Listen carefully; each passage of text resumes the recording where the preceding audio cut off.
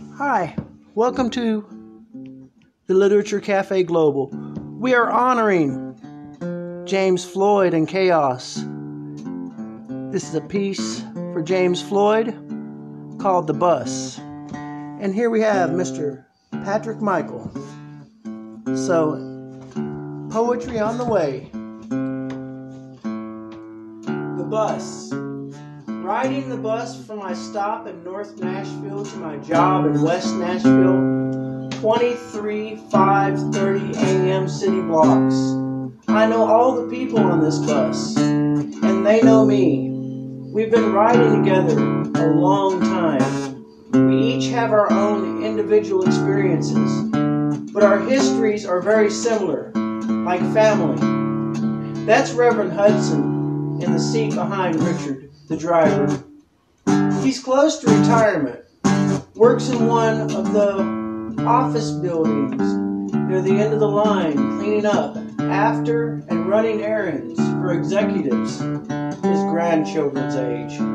Wanted to be a preacher when he was young, didn't work out that way, but he's a deacon in his church. Sometimes, when there's a lull in the conversation on the bus, Reverend Hudson Holmes Precious Lord, take my hand. Or some other spiritual. I suspect he had a pretty good singing voice at one time, but was never told so or encouraged. On the corner of 63rd and Centennial Boulevard, at the stop where Richard stops to get a cup of coffee, Reverend Hudson runs in and buys his lottery tickets. I don't guess he ever hit not big anyway, cause he's still riding this bus. We all call him Rev anyway. Sitting across the aisle from Reverend Hudson is Miss Lojack, the only white person on the bus. She was the prettiest girl at her high school prom, was going to college and be a nurse, but instead eloped with her boyfriend in his 55 Chevy a stick in the floor and the four bar check hubcaps to the next county where they never got married. And he honey and the honeymoon lasted till the money ran out and the rent was due. One day he revved that Chevy up, drove off, and she never saw him again. Two months later, she found out she was pregnant. She had two more children by two more fiancés over the years, all grown now. She holds no resentment against her children's fathers, but sometimes in quiet moments she closes her eyes and imagines how it might have been. We'll all call her Miss Lojack anyway. Hello, everyone.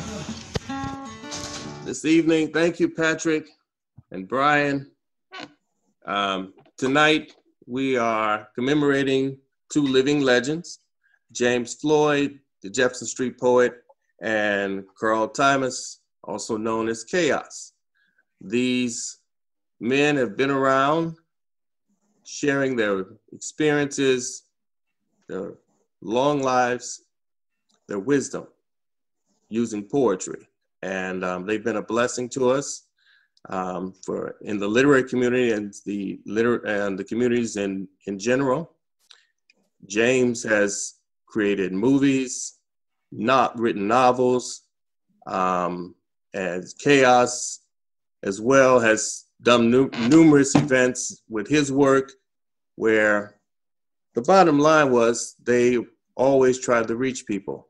And um, we're here to commemorate them um, a friend of mine once said that um, you should get your flowers while you give people their flowers while they're still alive, and I agree with that. And we're living at a time that we don't know what's going to happen tomorrow, regardless of our age. So don't think we're looking at these guys because they're our seniors. No, we're looking at them because this is something that needs to be done. Tonight we have a lineup of poets that are giving their dedication. They include Noel Marie Blackmare, Brian Duchetti, Navita Gunner, Christine Hall, Pamela Hirst, Amy, Melinda Hoskins, myself, Henry L. Jones, Francesca Kirkpatrick, Michael Diallo McClendon, Joseph Seward Powell, and Siona Rose. Um, the last poet, Siona, we have a, um, a video we're going to share. She had another obligation. That's what happens when you work with poets. But I am glad that the poets here tonight are going to provide their dedications and some words, perhaps, as to what the poet that they're dedicating um, to, what they means, just to share some moments, share some moments, as well as some of them may read poems that were written or published by our um, living legacies. James and Karl, thank you for coming and spending this afternoon with us, viewers, to allow us to give some love and give some literary uh, blessings to you. So, without further ado, we are now going to begin our lineup of poets. Our first poet is Navita Gunner. Hello, James. It is so good seeing you because of the history that you know uh, that we have had, and it's been uh, really a, a, a heck of a history. And I missed you, and like uh, wish that we could do this uh, again. But I'm so happy to be asked to do a dedication to you, and this is what I came up with. My poem is entitled "They Called Him the Jefferson Street Poet." Junk man, junk man. If you can't use it, I sure can. Junk man. This and other amazing poems would echo off the walls at windows on the Cumberland and other poetry venues, recited by one of the most wondrous poets ever born. They called him the Jefferson Street poet, and his poems were known far and wide. And his voice could transport you to other times. All you had to do was close your eyes as his melodious, deep voice rose and fell. A stillness would engulf the rooms, which would keep the hearer transfixed like a trip to the moon. The man is a legend in his time, and I am so glad to be able to call him a friend of mine. Love you, James. Love you, Navita. Thank you.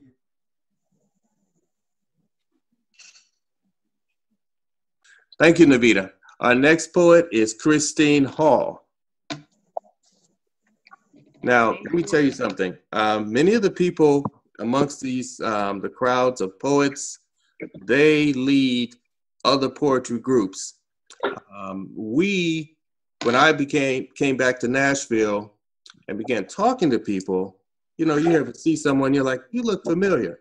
Christine was someone that used to come to Kijiji Coffee House, where Navita, who you just heard, was a host and I was a co-host. And sometimes we just straight off separate days. But we've learned that everyone at some point in their life has encountered each other. And I think that's so bizarre. Christine is the host of Poetry and the Brew. Without further ado, Christine Hall. Oh, thank you. Thank you so much, Henry. And thank you, Brian. And I just really appreciate this time here to pay tribute to James C. Floyd, the Jefferson Street poet, and Khaos. Oh, we love you. We appreciate you so much. I mean, pillars of our community doesn't even begin to cover it. And you're poetically gifted with the gifts you give to us in so many other ways. The spirit that you carry and infuse everywhere. You, I, I just thank you. Thank you so much. Um, I'm sure you suspect how you have touched all our lives. I hope that this event shows you a little bit more, but also I just hope that that's reflected to you continuously as you go on through your lives, all the people you touch every day, and cumulatively throughout, you know, a lifetime and counting. Um, I wrote a poem dedicated to Khaos, and I picked a poem out by James C. Floyd, the Jefferson Street poet. Poet. Both of them are um, pretty brief, so I will share those right now. Thank you. A call to chaos. For what necessity better bears the invention, if a call to action, than the voice that carries downstairs to all the corners? But listen, We are the children. Hush. He calls to order, and we call this chaos. As the order of the day, chaos reigns, tells us trials of historical proportion, of errors so human and their correction, of love, the higher law, rooting in to redress the wrongs, marching over broken jars. Hearken, Gideon's army, the unified force of nature that is community, trumpets blaring, chaotic verse, poetry for the people who weather the worst, together, meeting in the cloud, or when the tornado touches down, clearing pathways in the sacred cacophony we call chaos, and in this we are harmonious. Love you, Khaos. And here is one. Let's see. Can we? It's backwards. Of course, they're always backwards. But in front of me, oh, it is all right. And it is some gentle moving thing. I have selected mist. Night. And as you lie in slumber, nature is busy making a poem, a beautiful poem to be recited in the morning.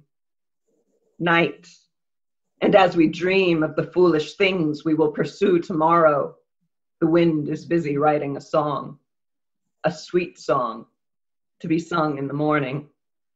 Night, and as you and I kneel behind closed doors, asking for selfish things, the sun is busy painting a masterpiece, a colorful masterpiece to be displayed in the morning.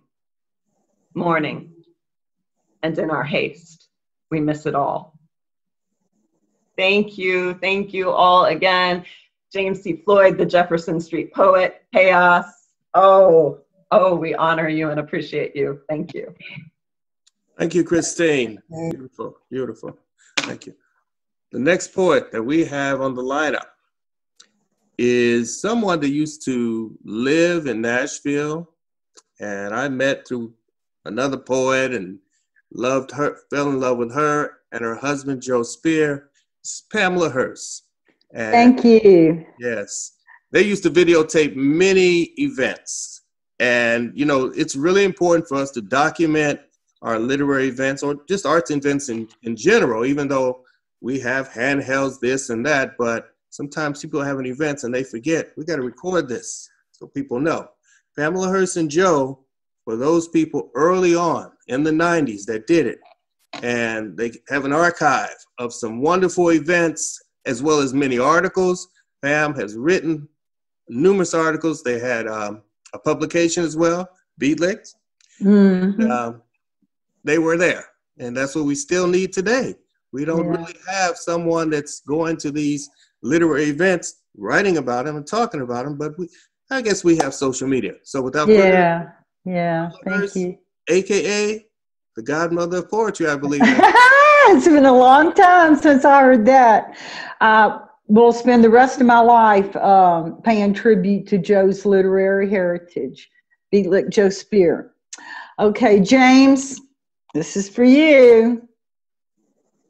Icon, a symbolic representative worthy of veneration best example of an ideal. From the beginning of performance poetry in Nashville, James C. Floyd has been there. It is my honor to have served as his editor, and we could spend hours discussing syntax and the merits of a single comma or three periods. and we loved it. It was so much fun. We spent hours, hours. It is my honor to have served as his promoter. And it is my honor to have served as his publisher. When Beatlick News, Poetry and Arts newsletter, gave him his moniker, the Jefferson Street Poet. When I attended my first poetry readings at Charlie Fenton's Windows on the Cumberland in 1989, James was there.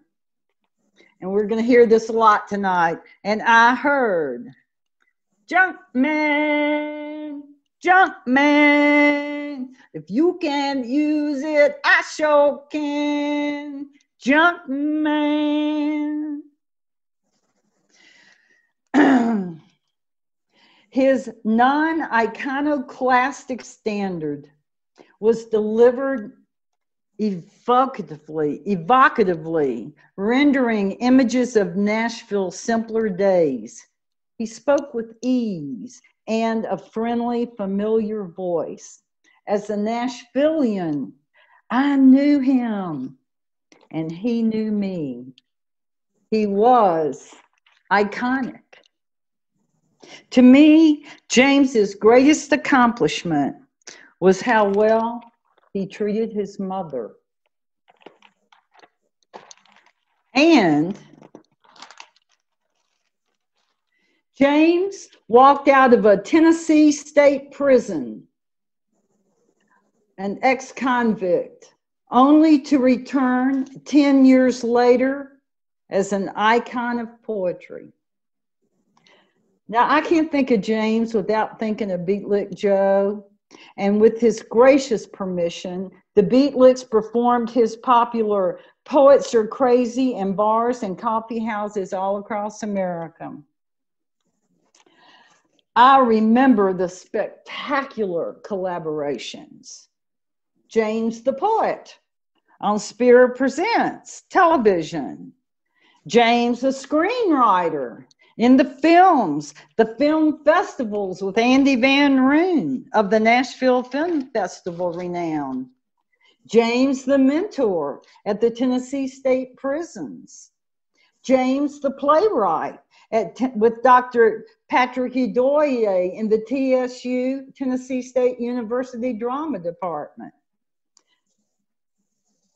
No one, no other poet has climbed so high, having been knocked so low in the beginning. Not one. The Jefferson Street poet is a man of which movies are made now. And I spent some of the happiest and most productive years of my life collaborating with the Jefferson Street poet. Thank you, Pamela. I got chill bumps. Thank you, Pam. All right. I just want to ask James one thing. James, you remember being out there at Tybee Beach in Savannah when we went down with that out there at midnight in the beach in the ocean? Remember in Savannah, Georgia? Yeah. The of uh, this, the latest uh, edition of Some Gentle Moving Thing. Uh, I did that cover with the camera I borrowed from you. Oh, get out. That's wonderful. We had some great times, good memories. Okay, moving on. That was wonderful tribute. Our next poet is someone that I actually met through James and found when I heard her recite her poetry, I was like, whoa, she's something else. And then found out she was an artist. She's into yoga, and I was like, oh, okay. Um, and she's also performed with me um, at an event, and she I asked for volunteers, and she stepped up. So I said, oh, I love her even more because she's got guts.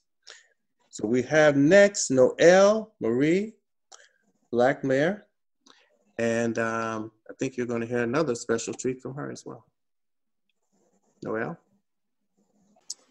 I've known James for almost eight years now, ever since I stumbled in Tennessee from New Jersey. Um, he must have saw something in me uh, that I I still am finding in myself. Uh, I have really I consider James my a mentor and um, someone that made me realize that being a poet isn't is yeah, you're crazy, but there's more crazy people out there. Um, as long as we keep sharing, um, it makes sometimes the world a little better, you know. And my phone is about to die.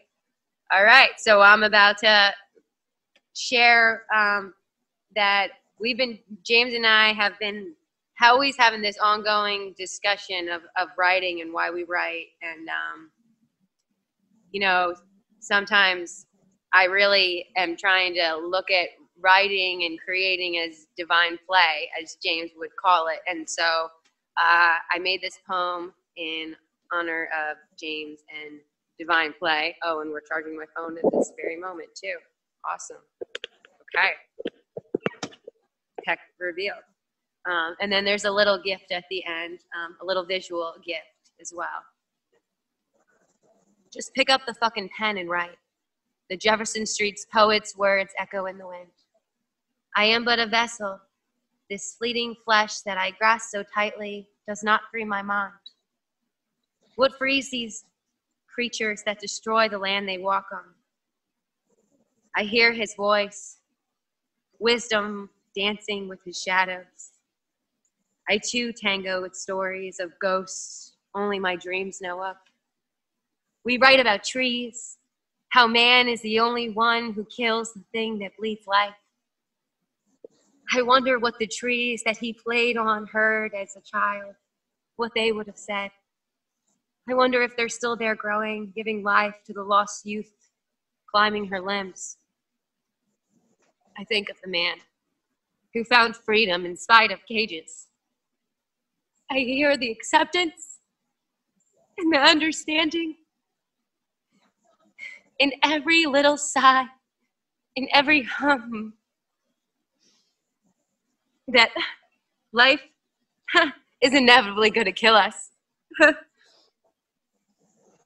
nothing we say is nothing we don't know, he says. I fear my words don't have enough blood. We write for ourselves that we don't know just yet. Who don't I know? We must destroy ourselves to rebuild. Get back to the playground. Divine play. The wind laughs. I hear the Jefferson Street poet again. It's time to create. Just pick up the fucking pen and write or paint or smear whatever you can on something. So this is for you, James. I bathed myself in blue, dipped into the divine fountain, splashed into a brief moment of santosha, contentment before the storm. I ran into the street. Mother Earth cries. I find myself dreaming of a cat. a cat that I never knew that if she ever got let out of her cage, her name was Baby. Aren't we all babies? Just trying to find the humming that could soothe our wounds. That's why we write. We all hum. I hear it when my cat purrs.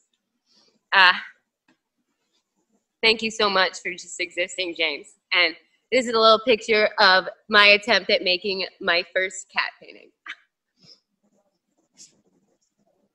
and I'm glad to be here today. Thank you, Noel.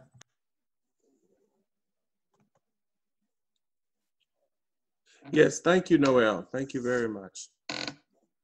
Our next poet is also uh, a person that hosts a um, one of our literary open mics, our poetry open mics. And um, I met her years ago in something that was called um, the Flat Rock Open Mic Poetry. First, I met her at Poetry in the Brew. I mentioned Christine Hall. And then she kind of disappeared. And then I heard of this Flat Rock Open Mic, and I went there, check it out. And there she was. And I was like, oh, that's where you've been. And then she told me, well, yeah, I started this, so I, I would visit often. Now Flat Rock Open Mic has become Gestalt Open Mic, and um, she's, like many others, are dedicated to maintaining an open mic. And Christine, as well as Amy, they still do this online during this difficult time. So without further ado, Amy, Melinda Hoskins. Thank you so much, Henry and Brian. and James and Khaos and everyone who's reading tonight. I'm really humbled to be here for the elders as well as my fellow poets. I'm really humbled to be here. I wrote a poem for Khaos. Um, and Rob and I, my husband Rob and I, have been interviewing Khaos, and we have maybe four parts. Uh, but it's about his life story it was so brilliant we needed to record it so we'll be sharing more of that as it's available griot from mirror to mask multitudinous modes of perception Khaos fans his mysteries before our eyes what do we see today who is he his light shines through griot oral historian friend, fierce. In high school, Khaos sat down with the sit ins, saw them resolved in time, a new level of freedom found in downtown Nashville.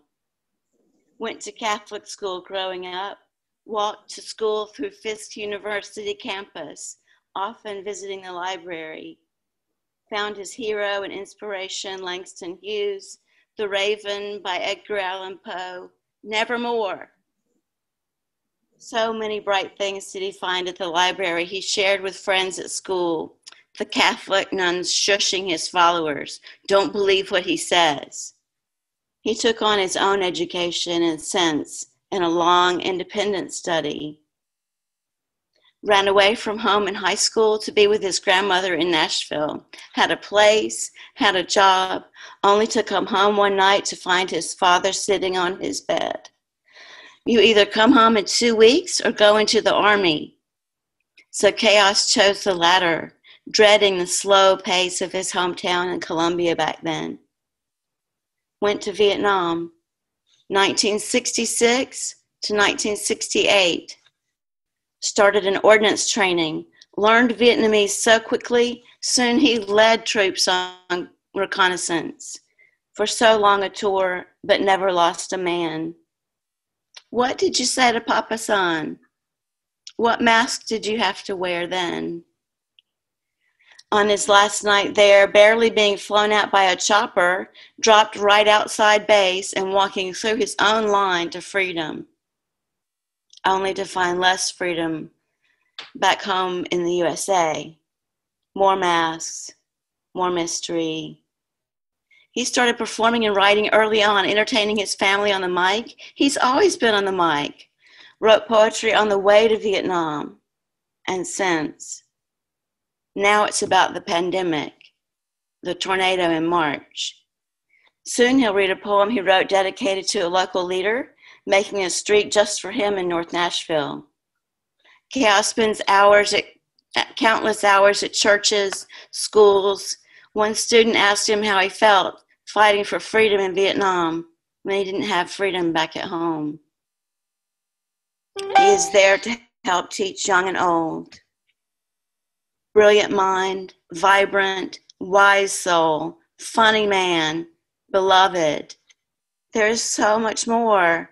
No wonder masks make sense to inspire curiosity and a bit of a prank. Prankster? Perhaps so. Griot? Yes. Oral historian? Yes, only in the most wise and loving sense. Treasure, elder, Khaos.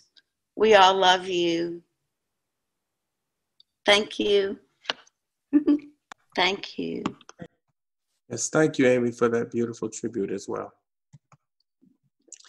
Next on our list, we talk about small worlds. I met a young lady, Francesca Kirkpatrick, and that name was very, very unique. Um, certain, I'm Jones, got a bunch of Joneses, you know, and Johnsons and all that, but Kirkpatrick. And um, when I looked at her, you know, you see someone just like something seems familiar. Anyway, um, used to do this performance celebration of cultures, and there was a guy there, and his last name was Kirkpatrick. And I said, wait a minute, are, do you know? Um, oh my God, his name slipped. I was just thinking about Bradley. It. Brad, Bradley Kirch. She said, yes, he's my husband. and we met. We met years ago and uh, I believe you were there. And uh, anyway, I didn't know she was a poet, and she's a bunch of other wonderful things, and we've become closer as poets and friends, and you know. But started with Bradley. All these circles in life that overlap, and of course, Francesca is here because she knows some of our living legends, and um, she's going to share her dedication with you now. you guys, this is such a great honor to be able to even just see you and to have this technology to be able to hear you and to love you and you know just say okay i'm sitting here and and i'm still looking at both of these men. These strong strong men. No matter what anybody's ever said to the past to whatever no you guys are like the strong the strong for us. Um i've got things i want to say to both of you so first i'm going to go with james because he's uh just he just became first on my little page here so and i do some mismatched poetry so this is kind of off the cuff but uh here here we go james this is for you and I also know that you guys know Navita, and she loves you as well. And she's gonna, you know, she came earlier and told you how much she loves you guys. Um, okay, James, Jefferson Street poet, James C. Floyd. And I, I added your thing. Here comes the bus. The junk man is echoing across the windows in the Cumberland. I imagine a day where you are sitting with boots at the bar laughing sometimes. He was the bartender there at Windows in the Cumberland. We are together today to celebrate James C. Floyd and his marvelous words. Today often comes to us with poems at Poetry in the Brew and the Literature Cafe Global. A sweet song in his words, a masterpiece, forever in our minds. We need more James C. Floyds but not exactly like you because you are the only you that we need. People are so honored by his conversations about commas and periods. That's what Pamela says about him, and I believe that. And they met somewhere back in 1989, and I kind of remember a little bit of this years later, hearing him yelling out, "The junk man, the junk man." Reading the simple, you know, at the readings in the simple days. James is an ex was an ex convict and of poets. I believe that even those words that you mastered while behind bars were the most powerful because that's usually what happens if you read history. Um, I just recall you also because I'm a part of the film festivals and Andy Van Roon and all these other people that they were saying, You've been there, you've been the playwright, you've been so many things. But the main thing is, is we can hear you forever yelling, Junk man, junk man, junk man. So never forget those words. I'm sure they'll be with you forever. James C. Floyd, I love you. Next, I have one for Karl. Karl, um, we are the children. Shh, hush. That's what you always heard. But I bet those words made you a stronger man because now you don't have to hush. We want to hear you. We want to hear you talk to us. Trump is blaring loud, and we hear his uh, harmonious words. Poetry in the Brew yells out Khaos, and we hear you coming from a phone in your car. You've been through things in your service, and what a trooper Khaos. Um, I'm so pleased when you uh, when you come out in your car after a tornado, after all these disasters, and you turn on your phone and you speak to us. I feel you. I watch the stories on YouTube and I feel the the man that helped all the people through service. You are such a true man. And through life's adventures, um, your happiness poem brings great joy to many. Uh, hearing the words bebop, bebop, you sit in so many things Uh, you you say and you stand for so many things.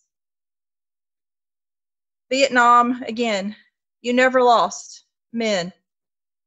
I'm thankful for Amy and her husband recording you for us because we will keep watching. So keep telling your stories to Amy and her husband. All the time you put into life, you are Khaos, calming the world beyond us. I love you, Khaos. Thank you. Thank you. Thank you. Yes, thank you, Francesca. That's a great tribute as well. Moving on. Our next performer, our next poet is a new friend of mine. Um, we have th- four people that kind of helped pull this together. You met the first one, um, but this is David Kosi. And um, so those four people uh, Brian Bichetti, who contacted me and said, hey, what do you think about honoring, you know, some of our, our older poets that have been out there? And I was like, yeah, I love that idea. And um, I knew Patrick Michael, Michael, um, because of um, Brian went to his host. And then I met David Kosi. I hope I said the last name correctly. And, um, and he's a dynamite poet as well. So now we're going to hear some um, words of dedication from David. James, last time uh, you were on the show, um, the Literature Cafe Global meet, um, I I heard something that really, it really just kind of spoke to me, and it's about um, how you can't trust history books for true history, and uh, you have to kind of look a little further and uh, you know look into like the literature of eyewitness accounts of everyday people and the poetry and the art of the era in which you're trying to find history. And I thought that was really awesome. Um, so uh, this is a response in agreement to that, which is uh, it's a it's something I wrote a few years back, maybe about five, four or five years ago. Um, this is a piece that I made called a cat- cataclysmic sky. So uh, it goes like this the system is never going to make things change. Will we ever go further if we do the same thing? Sometimes it feels like elastic on all sides. If no one's right, who is to guide? Just take the loss that came from you, reserve it for when it will ever take you. Deny your individual fate to forget that the worst of this may not even be here yet. So, what really matters to you is that loved ones close to you. Can you set your thoughts aside? Reserve a time to heave your pride. I don't need resolution here. I don't need to know what to fear. The greater haze is all behind me. And some think they know what's, what's left to define me. How long is the wait for better days? It's inevitable, after all. For things to fall to a change of heart, there must be somewhere that this has to start. In passiveness, I conquer endless. Faster than they can make amendments. With breath, my mind becomes the sky. My skin dissolves, my bones are dry, like dust that was once emptiness. So far and wide exists the absence of everything they work towards, the lie they use to sell the wars. I see in time there may seem no need for any extra mouths to feed. Too great will be the liability for those who do not share their greed. Some say that we're never free. When dreams are fueled by no rules, like anarchy, some some un, some do not some do not take seriously that some of us do not fall to the apathy. How, so, how long is the wait for better days? It's inevitable after all for things to change after things get worse. Just know what it is and before it gets there first. There's enough to deviate their will. They're in for a surprise. So vast the void, so small the light they used to watch the road at night. They're the pawn in the greater game. Emancipation grows out of pain. In emptiness, I kindly wait. The more they lock down, the greater my faith. I don't need resolution here, even when nothing seems the least bit clear, because the greater haze is all behind me. when some think that they're what's left to define me. Some say that we're never free when dreams are fueled by no rules, like an anarchy. Winter wolves survive the blizzards, always one's choice to bear or wither. So, thank, so thanks, James, and thanks for uh, everybody else that comes and does these these events and stuff like that. Um, life is art, and art is life. So I just appreciate all of this. Thank you. Thank you, Dave. Thank you, David. Thank you. All right, thank, I see we have a few more people who've joined us. Um, uh, Michael, Michael is an actor, poet.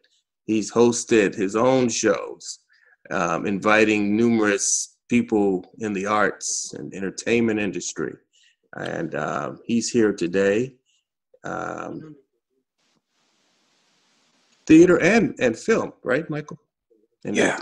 And today, I saw him holding a guitar, and I was like, "Wait a minute, this brother's got a musician as well. We need to get him out there." But then, you know, in Nashville, where we're located, you'll find a lot of people on the side. They they can play an instrument, and a lot of people have home studios. So, without further ado, Michael Diallo McClendon. Thank you, Henry. I appreciate you, and I appreciate everyone on the line tonight. And before I share this poem I wrote for Khaos, I just wanted to say congratulations to the Jefferson Street poet as well as Khaos. Uh, we love you guys, we honor you guys, and uh, tonight is very special, and I'm honored to be a part of it. Uh, Khaos is a great friend, uh, a great friend, and uh, we have some similar roots. And even though I'm reciting the poem uh, that I wrote, uh, reading a poem I wrote for him, I wanted to just say these two lines because I love it.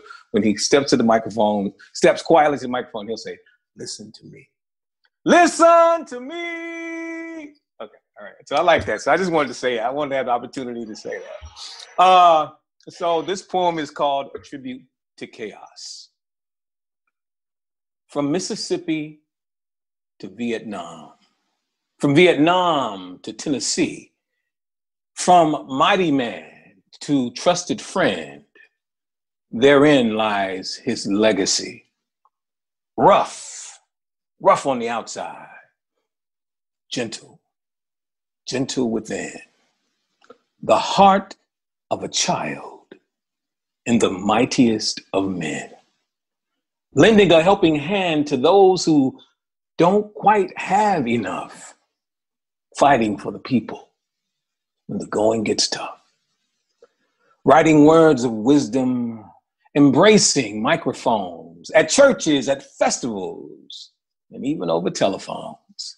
He's a cool drink of water in the midst of the fight, a star shining brightly in the darkness of night. In times like 2020, a year like we've never seen, he means what he says, and he says what he means.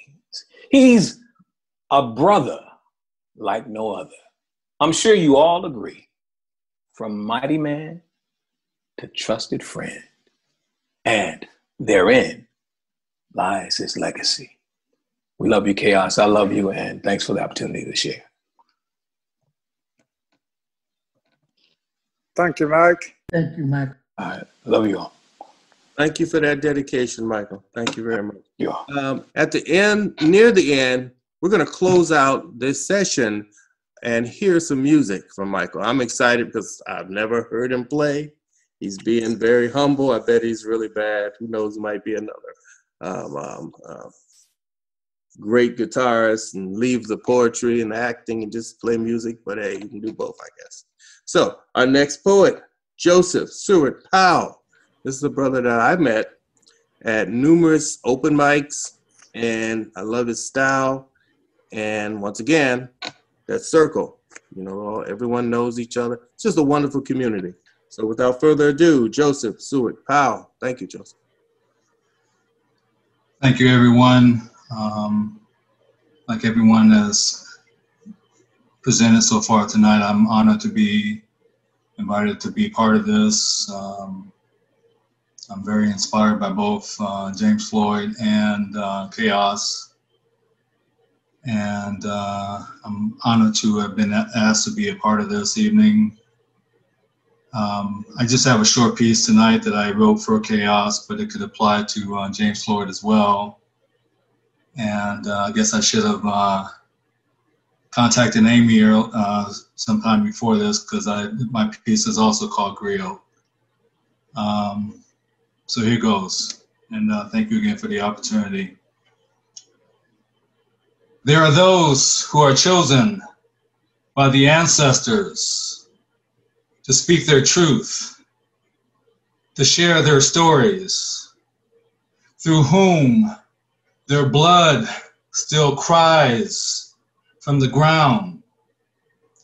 Griot, storyteller, poet, words made into flesh, and then back again to show us the way to be the truth that gives us life, to be theirs and our voice in the wilderness, to create chaos of the righteous kind in a world that no longer sees, no longer listens or hears.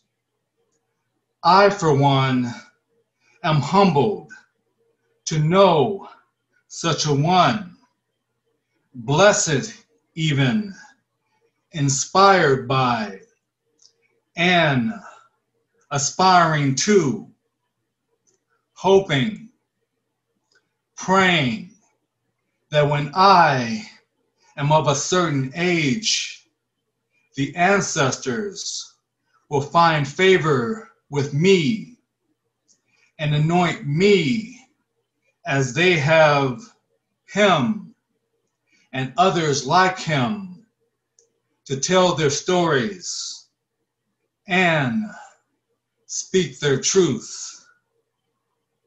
Ashe. Thank you very much. Thank you, Dave.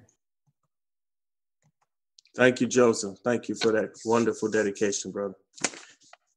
Our next poet is someone who's been running his mouth, introducing everyone. That's myself. And um, I, I know both of these wonderful poets. I have been influenced by both of these brothers. I first met James Floyd at a special place when I was a student at Fisk, and one of my mentor, professor friends, Earl Hooks, took a group of us off campus to um, a place called Windows on the Cumberland because on campus we had this thing called the Fisk Herald Chill, our on-campus open mic, and um, you know it was an adventure. You're away from home. Back then we walked, uh, but we got there and that was my first experience in somewhat of a bar like settings. I mean, the setup. And there I was um, amongst these older poets. I thought it was really cool. And Mr. Hooks introduced me to um, James Floyd. But he introduced me as, he, he introduced James as the Jefferson Street poet. Fisk is located on Jefferson Street. So I was like mesmerized. I was like, the Jefferson Street poet. I was like, whoa, who is this guy? And, um, you know, we sat at the table talking. James asked questions and so on. And then I heard him read. And I was like, wow. Because the poets that I knew basically were in a lot of books. At home, I tried to think back. A few family members wrote a little poetry, but they didn't call themselves poets. And there he was, and and I was really just floored that day. Now, Karl, when I moved to Nashville, I heard him. I was like, Khaos. And I have this eye when I see someone, I may not remember their, their name, but I remember their face. And ever since I heard him recite, I knew I didn't have a book by him. So I wasn't familiar, it wasn't the poetry. I hadn't met him at an event, some type of arts event, some type of reception and so on. And uh, we got to talking. We'd see each other at different events, like run into each other again and again and again. And, you know, we talk more. And um, he told me when our discussions how Windows of the Cumberland was one of his hangouts. And I was like, oh my gosh, that's where it was. So he was probably one of those poets, without doubt, he was, that uh, I met or saw during um, that first time. I have a poem dedicated to both of these dynamic gentlemen. James, the first one, um, this has a special meaning for me because um, as a student, you got a lot of that cafeteria food, which wasn't especially good. The day I went to Windows on the Cumberland with uh, Mr. Hooks, my roommate from New York took me to a place called Ed's Fish. And I tasted the best catfish that I ever had. And that place still exists. The food is still delicious. And um, later, so that day, tasting Ed Fish, and then that evening, that after that evening, Windows on the Cumberland. So here we go. My two pieces dedicated to my brothers. First one is titled Through the Windows for James Floyd. Found you stirring the gentle waves along the Cumberland River one night. Its stench rose burning nose hairs in this place of windows and words, where a slow haze of cigarette smoke floated by our eyes, breaking sight of you at the mic reciting your poetry. Your tongue spat into the gray folds of our brains, awakening minds, planting seeds of thought and feelings within the channels of emptiness, adding just enough bullshit and lies to cover the aroma of piled death flowing along filthy shores below. Found you stirring the gentle waves, your hands orchestrated the currents, bringing up oily film for ashy ashamed, knees and elbows hiding without, within clothing. As you healed with your stories and smiles, you, the griot, casted from the ancestors to become a voice for their forgotten eyes, looking for their memories and dreams, becoming you each moment you spoke, the griot sheltering the pain of lies. Your voice embracing night talking to the stars, comedic songs of praise, griot reaching out to the past. People on edge with ears listening and watching, hoping as your hands push the currents, seeking lost catfish to whisper their buried treasures, trying to avoid that skillet and breadcrumbs, to uncover lost words of inspiration they hid now needed to reach many hearts and minds, breathing life into communities. That is the role of the griot that you are. Thank you, James. And this next poem is dedicated to Khaos. And um, earlier it was mentioned how he, he would start his poems, and I love that part of it. I said, wow, that's I love that, you know. So this poem is titled Just Chaotic. Chaotic winds blow. Oh, in old memories into our thoughts as we relive painful moments, but then becomes a healing balm to soothe the pain through your words. Chaotic waters flow with tears trying to drown all of our grief and loneliness as, it, as they emerge, but brings a baptismal pull to give hope that you give through your words. Chaotic fire burns, acres of trees full of our legacy roots, charring the evidence of who and what we were, bringing only a drizzle of sweat and tears, death and birth saves for the future. We must remember you extinguish in this glory for the future with your words. Chaotic dreams disturb the mind and hearts. Subtle or lucid messages sending symbols of direction to forecast what dreams may come, which you share.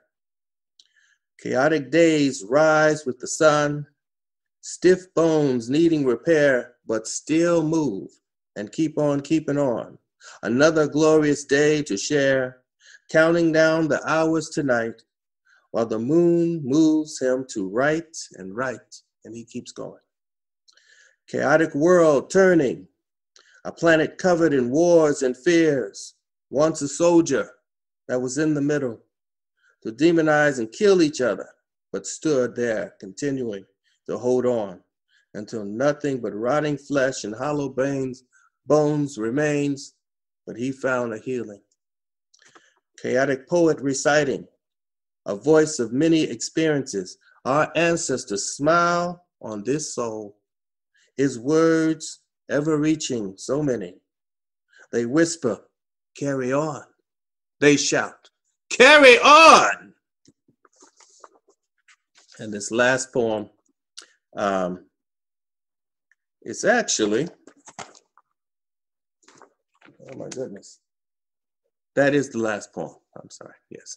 Thank you very much, James, Jefferson Street Poet, and Khaos, Karl Thimas Khaos um, for everything that you've done and everything that you're doing. As I told someone, look, these guys are not finished.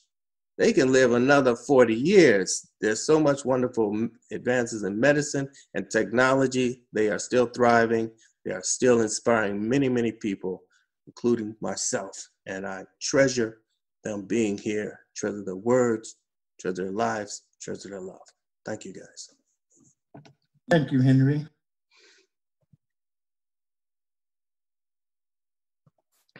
Oh, our next poet that we have. Ah, this is our technological element that um, we're going to have to work out. Uh, Siona is another poet. She actually was part of two open mics. One was uh, or is Lyrical Brew over at um, Vanderbilt Barnes and Noble, and the other was uh, Writings on the Wall with um, Dana Malone. And Sienna Rose uh, had another obligation, which you know you have conflicts, but what she did, she got on and used this technology to present this beautiful video with some of her words to show a dedication.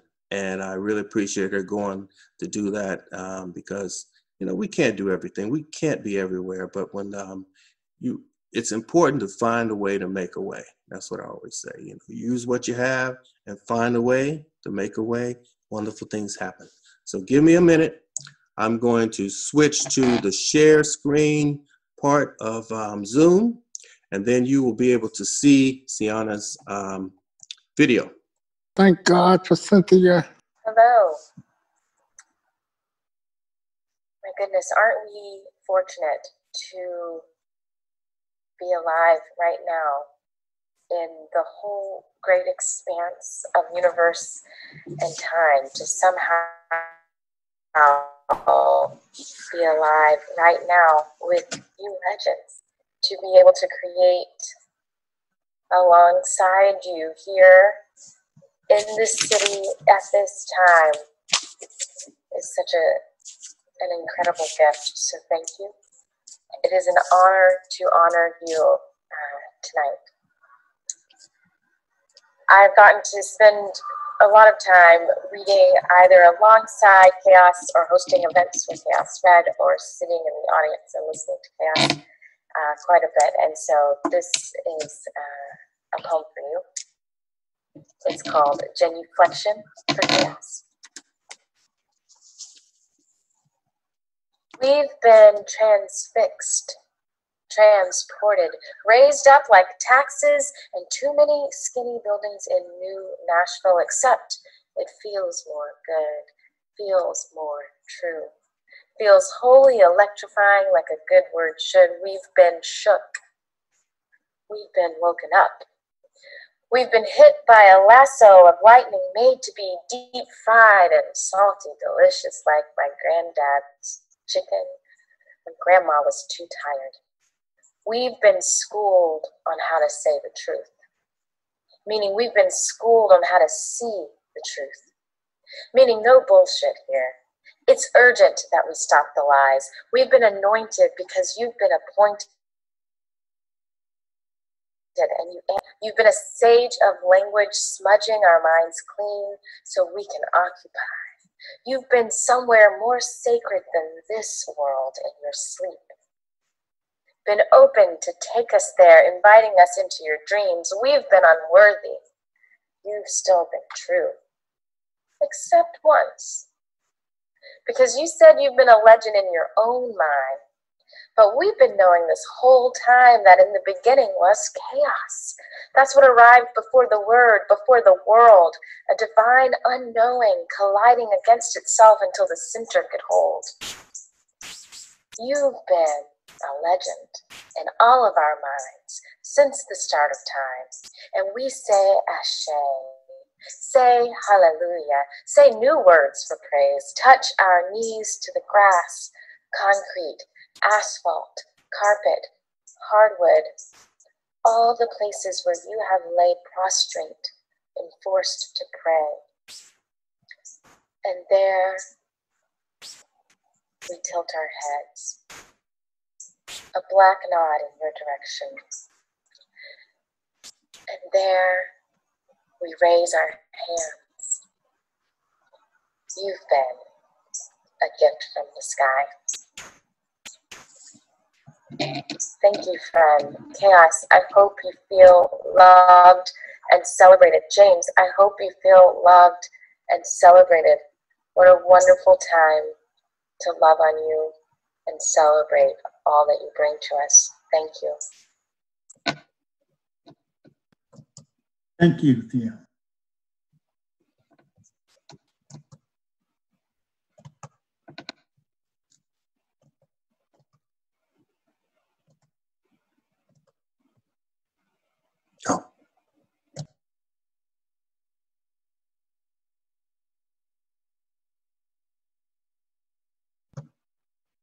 I am back. I hope that you both feel loved and celebrated.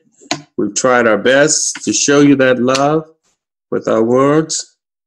And words, poetry has a very unique relationship with lyrics and song.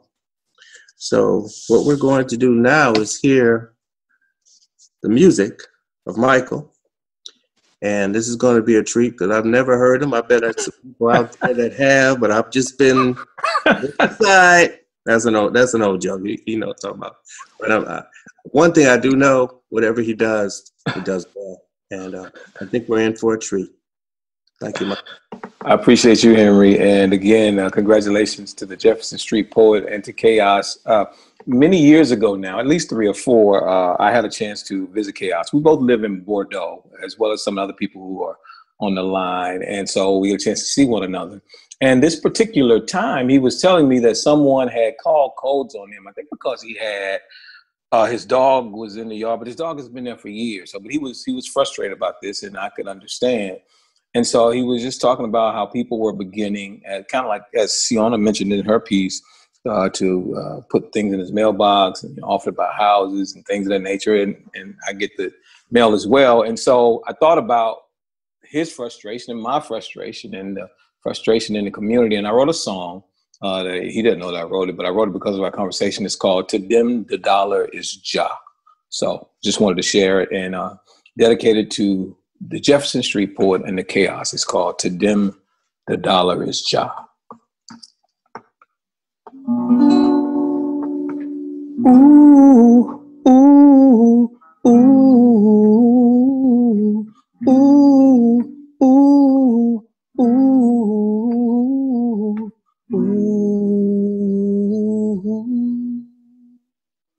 them, the dollar is Jah. To them, the dollar is Jah. Them don't care if them love you or not, because to them the dollar is Jah. Bomb rush our neighborhoods, set us ablaze if them could. Lock us up, no sympathy, then work us like slaves for pennies. You say, How could this be? Well, it's so simple to see. When to build them plush neighborhoods, them come and break up our communities. All because to them the dollar is Jah. One day you'll see it. To them the dollar is Jah. You'd best believe it. Them don't care if them hurt you or not. Because to them the dollar is Jah. Riding them bikes through our streets like some kind of secret police. Now city codes won't let us be. Them target poor and elderly.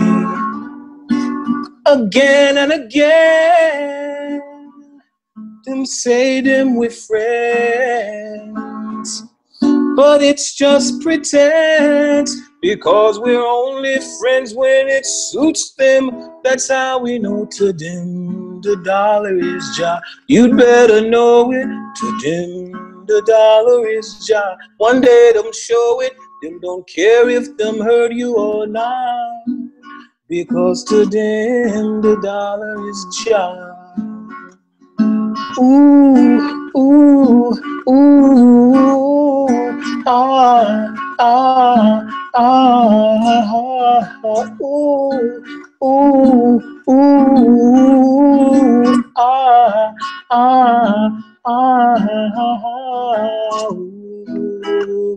ooh. To them the dollar is Jah. You'd best believe it. To them the dollar is Jah. One day you'll see it. Them don't care if them love you or not. No, no, no, no. Because to them the dollar is Jah. To them the dollar is Jah. To them the dollar is Jah. Them don't care if them love you or not. Because to them the dollar is Jah. That's it. Just wanted to share it. Khaos, you inspired the song, so I wanted to share it with you and share it with everyone. Love you all, and thanks for the opportunity, Henry. Man, that was awesome. That really was. Thank you, Michael. I mean, thank, thank you. Bob Marley and all. Of, you know, you could go there if you wanted to, but I know I appreciate you just do things to enjoy yourself. But if you cut an album, I'm buying it. I'm buying it. I appreciate that, Henry. I love it. All right, this is the end of our program, and um, like for Michael, I mean um, Brian, Patrick, Michael, and we have two Michaels. I reversed it, Patrick Michael, but Michael, Brian, and David to unmute and uh, say a few words before we go. Thank you all for coming. I hope you had a great time. Um, let me just say this before the others talk. The true way to honor an artist, you go out there and buy a book. Buy a book of these these um, artists, these poets, or if you know another poet, buy their book. Or go to a bookstore, just discover a poet. But um, these are difficult times, and um, you know this is a good time to just sit back. Your favorite liquor of choice, uh, whether fruit juice, brandy, cognac, whatever you might drink, water, tea, coffee, my love, and read a book, you know, or online. They got some versions online, or listen to an audio tape. So, um, James, Karl, thank you, brothers, for showing up and allowing us to bestow all this love and creativity on you. And um, I thank you, Henry. I thank you for a, great tribute to James and myself, and I, I appreciate everybody that performed, everybody that started, especially my pal Michael Diallo. I mean, I'm just overwhelmed. Thank you, fellas.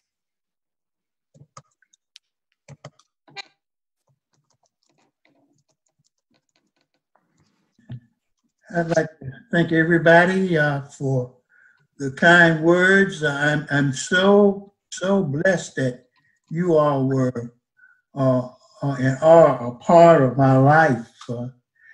Uh, just no words that, that can, can express my gratitude. Uh, uh, Joseph Campbell said that uh, everybody's a poet. Uh, those we refer to as poets are people who make a lifestyle of being in touch with their feelings. And um, all have made a lifestyle of being in touch with their feelings. Christine and Vita, uh, uh, Pamela, uh, everybody who has, has shared and been here. Um, this is a copy of. Uh, there we go. You can find it on Amazon.com. Uh, this picture, right? That picture was taken with a disposable camera I borrowed from Pam. We were doing a workshop in a poetry competition. We were judges uh, in, uh, in, in Georgia. Were three days. We spent most of our time on the beach. Um, the uh, the the piece that Brian did, uh, uh, the bus, uh, came about through some times that were not good times. Uh, I got out of prison. I couldn't find a job, and so uh, my my girlfriend suggested I work for myself. And so she loaned me three hundred dollars. I bought a truck through Traders Post, and went out to Belle Meade and told them I did God work. And uh, and uh, the lady said, "Well, who's who's what references do you?" Have? I don't have anybody. You don't like it, you don't have to pay me. And so I, I got that job and another job, and I made pretty good living until my truck broke. And uh, then I had to ride the bus, and uh, that's how that story came about. Uh, truck broke had to ride the bus, get up early and bail me. And I noticed that most of the, all of the people who rode that bus to work in Belle Meade had been doing so for years, and they were just like family. And that's how that story came about. Uh, I'm not going to take up a, a, whole lot of time talking, but I, I'm just uh, very fortunate that uh, that you all are in my life. Thank you. So, anyone else, please unmute, show your face, some words to the legends before you go. James, you are a marvelous piece of work. You truly are, you and Khaos truly are uh, legends. And uh, really, I it is me that is so proud to uh, know you guys because uh, hey, you're like you said, living legends. And just keep on living, keep on writing. Is is more in you yet.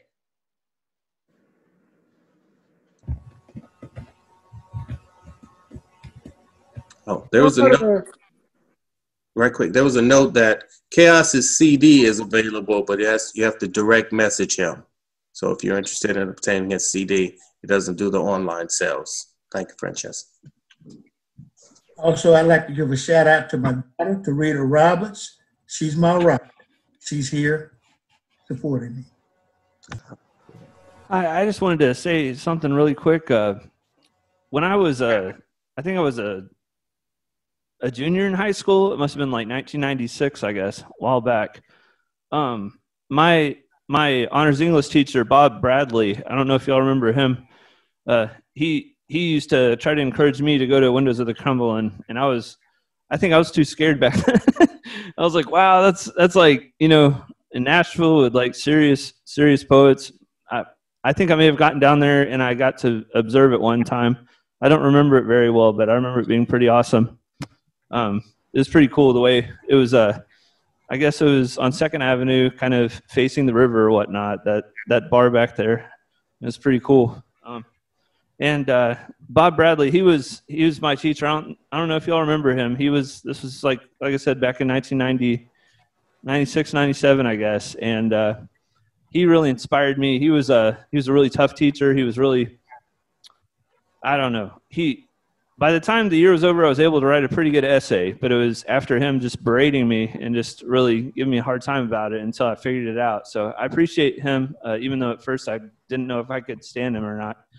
And uh, I just uh, thank you all so much for you know being the people that inspired people that are my generation, because y'all certainly did. Um, if it weren't for him, who was a part of Windows of the Cumberland, I I don't know how far I would have taken it. But uh, you know, art is my life because of him and another person who was my teacher, who was my art teacher in high school. So I just I just appreciate you all.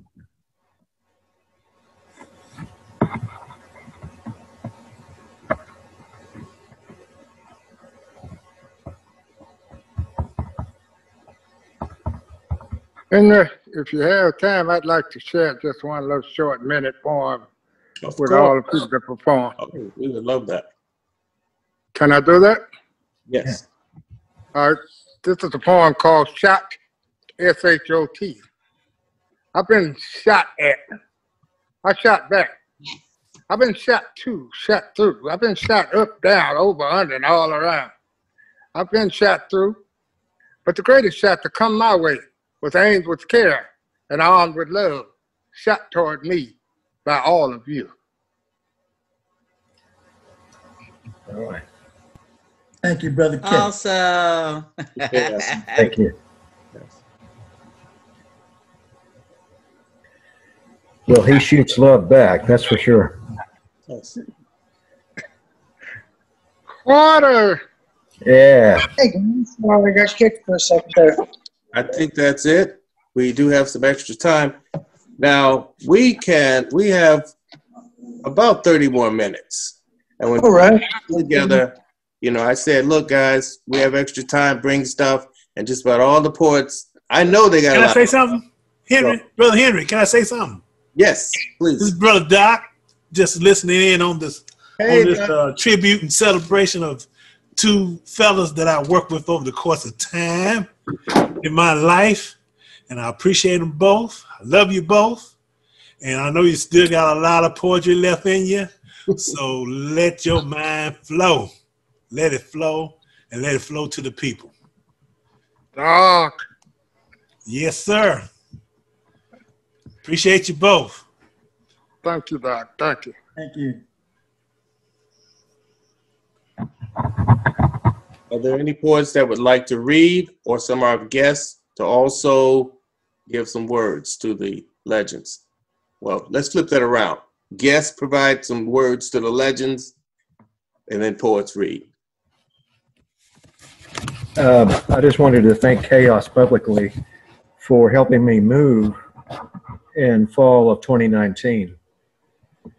So I had to move twice in six months. And then in spring of 2020, I had to leave Nashville due to gentrification and COVID joblessness.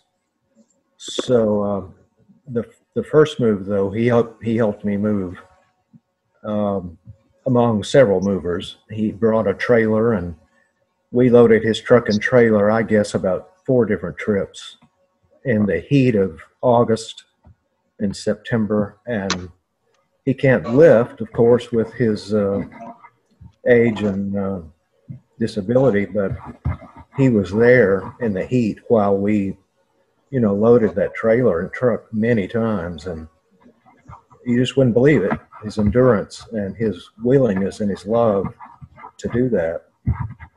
And uh, I still appreciate it a lot. You're quite welcome, Carter. Quite welcome. Well, I, I'll never forget it. And everybody should know that he's the kind of guy that'll do that. Yeah, that's much appreciated because anyone that's moved knows that when you ask around, no one is available. People they'll say they'd be there, and they're like, ah, I Oh, yeah. nothing else. So that means a lot. I mean, I've been does. down that road, Carter. So yeah. Yeah. it's good with you. Anyone else? I'd like to Yes. Oh, go ahead. Go ahead. I want to hear James Floyd poem. James? Okay, I'd like to share a poem uh, we're, we're dealing with a lot of uh, lot of problems with the with the the the, the murder of, uh, of, of of black people and uh, the uh, exoneration of the people who uh, who commit the crimes and uh, uh, I used to tell my students uh, when I taught that poetry, the purpose of poetry is to find common denominators, uh, those things we all have in common. The the range of, of of human experience is very very broad. We all got different experiences, but the range of human emotion is narrow, and the experiences are nothing but the catalyst for emotions nobody's ever had a feeling that's unique to them. We all have the same feelings. Um, so this this poem I've, I've said before. Matter of fact, I wrote it in the seventies, and maybe I'll be able to stop saying it. But it's titled "I Am Black," and it gets rid of all the trivial, superficial.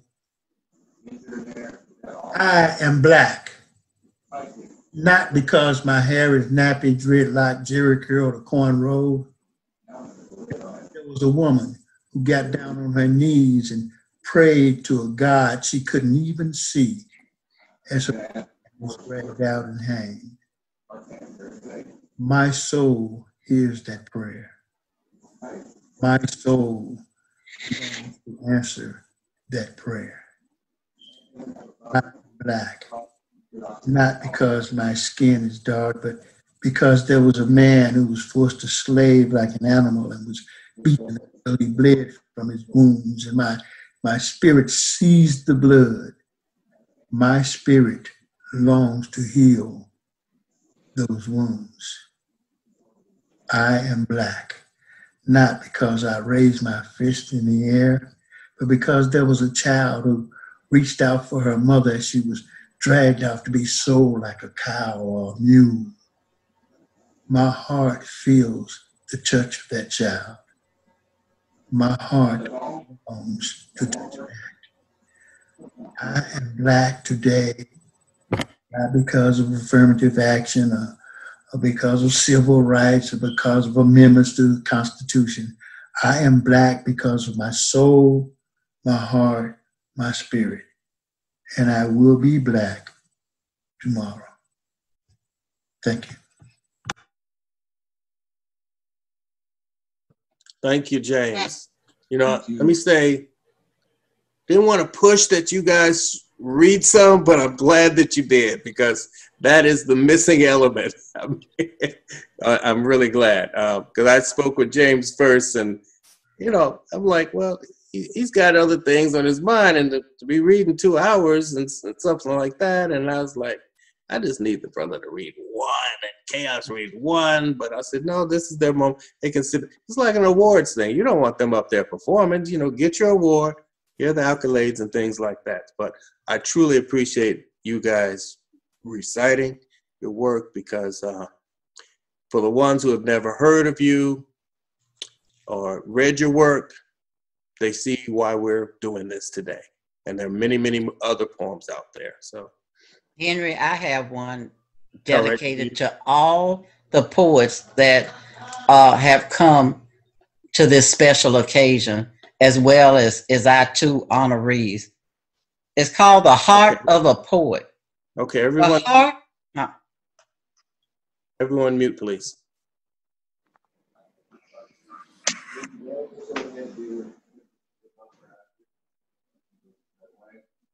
We ready? Oh yes, everyone. Oh. The heart of a poet, my friend, beats like no other heart. In fact, it should go down in history as one of the eighth wonders of the world. Why? Because it loves deeper and it hurts longer. And even as the heart maybe is shattered in a thousand pieces, it still beats on beating to a beat all its own. So do not despair, my children, if no one understands you or your special heart. Instead, proudly wear it like a badge of honor. For my poet friend, it is.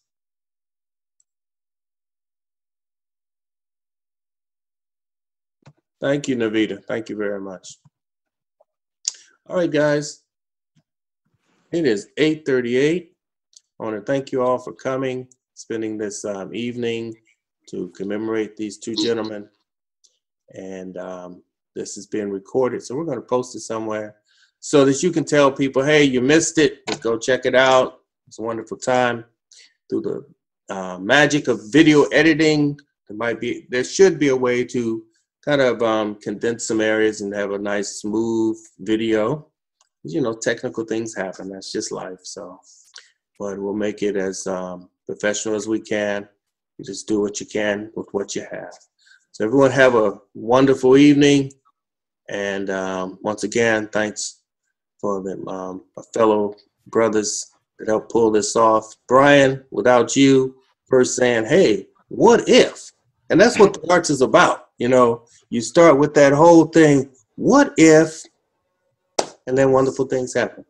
So, and um, you have a great night. So you go ahead and sign off and um, enjoy the rest of your week. Bye-bye. Bye. Good night. Thank you. Thank you, Henry. Thank you, Good everyone. job. God bless Hey, you it's all. been great being here. Bless you all. Glad to see everybody. Good night. Night. Good night, everyone in Zoom land.